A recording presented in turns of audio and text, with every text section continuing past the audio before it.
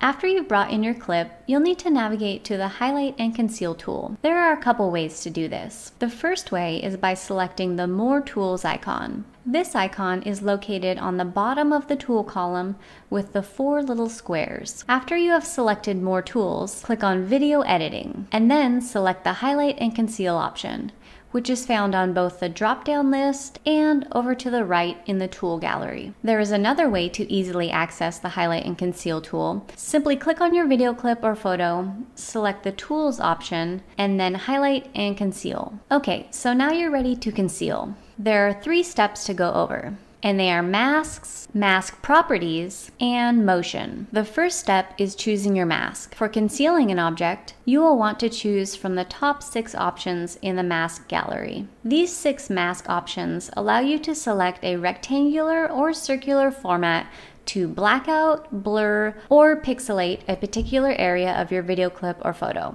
Oh, and if you're having a hard time deciding, don't worry. You can always change this later, and it's easy. Once you've picked an option, you'll see the change reflected in your preview window. You can now move the mask around by clicking and dragging, and you can resize by either using the adjustments provided on the mask or by simply rolling the wheel on your computer mouse. Okay, let's move on to the second step, mask properties. With the Properties tool, you can easily adjust opacity, feathering, and you can even outline.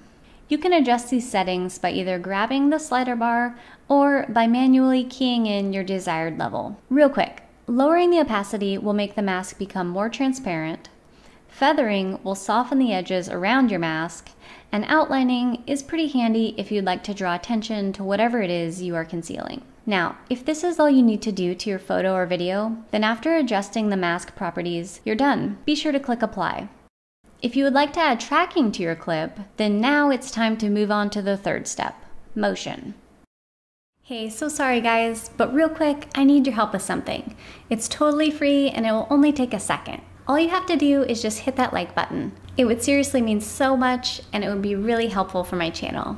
Okay, let's get back to it. Finally, motion tracking. In this step, you can choose which tracking mode to use, quick or precise. I'm going to try and explain this really simply. Deciding between these two options really boils down to time. Precise tracking takes more time to process, especially the longer and more complex your clip is. With the quick option, you may notice the tracking quality diminish, but this can still be a really great option to save you time, again, especially if you have a really long and complex video clip. Once you have selected your tracking mode, click Track and allow a few moments for the tracking feature to process. You're done!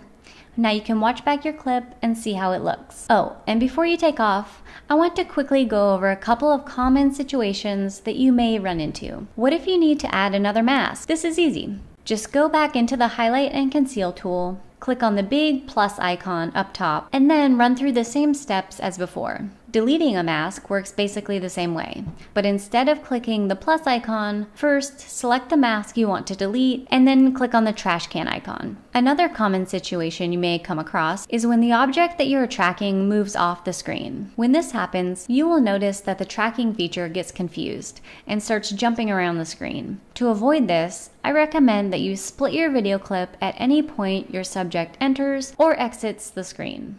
Oh, and you also need to double click on each clip you have split, then come up here to this top left menu under Clip Properties and select Applied Effects. Here you can click on this little X which will delete the hide and conceal you have applied on this clip. Once you have all of your splits in place, then proceed to add masks to any clip that you can visibly see your subject moving around. Last thing I want to mention is that if you ever want to undo an action, you can either click on the little back arrow located on the top left of your timeline or simply press Ctrl Z.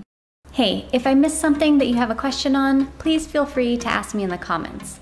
But otherwise, I hope you found this video helpful, and thanks for watching.